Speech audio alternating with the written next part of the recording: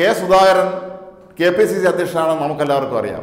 അദ്ദേഹം Kannur D C C അധ്യക്ഷനാണോ എന്ന് സംശയം തോന്നിപ്പിക്കുന്ന രീതിയിലുള്ള ഒരു പ്രസ്താവനയാണ് കഴിഞ്ഞ ദിവസം കോൺഗ്രസിന്റെ മുതിർന്ന നേതാവായ രാജ്മോഹൻ ഉണ്ണിത്താൻ നടത്തിയത്.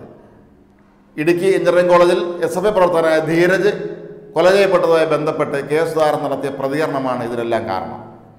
കെ സുധാകരൻ പറഞ്ഞത് എസ് എഫ് ഐക്കാർ ഈ കൊല ഈ മരണം എരന്ന് വാങ്ങുകയായിരുന്നു എന്ന് അദ്ദേഹം പറഞ്ഞു.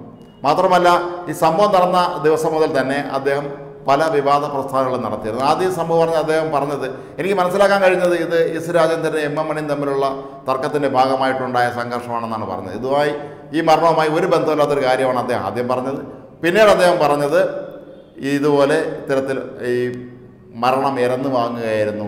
എന്റെ കുട്ടികൾ വളരെ മിടുക്കന്മാരാണ് അവർ വളരെ സജീവമായി പ്രവർത്തിക്കുന്നു എന്ന് പറയുമ്പോൾ അതിന്റെ അർത്ഥം ഈ കുട്ടികളെല്ലാം ഇപ്പോൾ കൊലപാതകം നടത്താൻ സ- സർവസജ്ജരായി രംഗത്തിറങ്ങിയിരിക്കുന്നു എന്നാണോ എന്ന് നമ്മൾ സംശയിക്കേണ്ടിയിരിക്കുന്നു. ഇതിനെല്ലാം ഉണ്ണിത്താൻ കൊടുത്ത വിശദീകരണം വളരെ സിമ്പിളാണ്. അദ്ദേഹം പറഞ്ഞത് ഇതൊരു കണ്ണൂർ ശൈലിയാണ്. കണ്ണൂരിലെ നേതാക്കന്മാരെല്ലാം ഈ ഭാഷയിലാണ് സംസാരിക്കാറുള്ളത് എന്നാണ്. കണ്ണൂരിൽ എല്ലാ പാർട്ടിക്കാരും ഇതേ ഭാഷയിലാണോ പ്രതികരിക്കുന്നത് നമ്മൾ ചോദിച്ചാൽ അങ്ങനെ അല്ല എന്ന് പറയേണ്ടി വരും. കണ്ണൂരിലെ എല്ലാ ആളുകളും ഇത്തരത്തിലൊരു ദാരുണ സംഭവം നടക്കുമ്പോൾ ഇത്രയും ക്രൂരമായ രീതിയിൽ പ്രതികരിക്കുന്ന ആളുകളാണെന്ന് നമുക്ക് കരുതാൻ കഴിയില്ല. കണ്ണൂരിലെ എല്ലാ പാർട്ടിക്കാരുമുണ്ട്.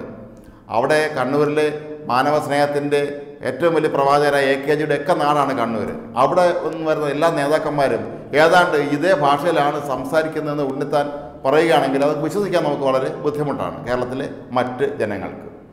ഇതുപോലെ തന്നെയാണ് ഒരു ഉണ്ണിത്താനെ സംബന്ധിച്ച് പറയുകയാണെങ്കിൽ അദ്ദേഹത്തിന് തന്നെ സ്വന്തം പാർട്ടിക്കാരുടെ ഇത്തരം ക്രൂരകൃത്യങ്ങളെക്കുറിച്ച് നല്ല ധാരണയുള്ള ആളാണ് അദ്ദേഹം അനുഭവസ്ഥനാണ്.